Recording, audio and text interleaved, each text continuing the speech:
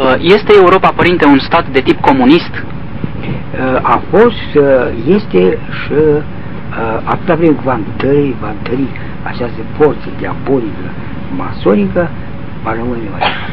Dar eu am trăiesc de 80 de ani, n-am văzut o, un Occident ca să se trezească la o realitate independentă creștină, catolică sau protestantă.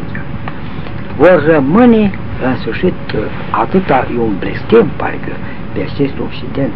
Și vedeți prea bine că acești oameni dușmani ai creștinismului nu s-a dus în Africa, nu s-a dus în Asia, nu s-a dus uh, pe alt teritoriu. S-a dus în Europa creștină, catolic, ortodox. Și-a mărcinat, și-a consumat, și-a transformat Europa într-un Babilon. Trebuie să treacă încă vreo 100 de ani ca să mai trezește nostru Occident să revină în niște ape sănătoase creștine, catolice sau ortodoxe. Cu părere de rău, catolicismul este călcat, deprimat, consumat, ajung într-un stadiu de incompatibilitate a vieții. Pentru că a intrat prea mult în viața politică, a intrat prea mult în viața socială, a lăsat pe Hristos și a luat-o cu materialismul acesta.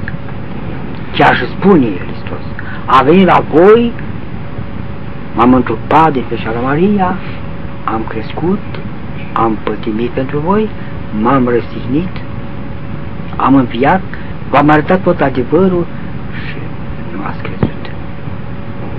Și iată azi a rămas o Europa occidentală sau o lume aproape fără Hristos.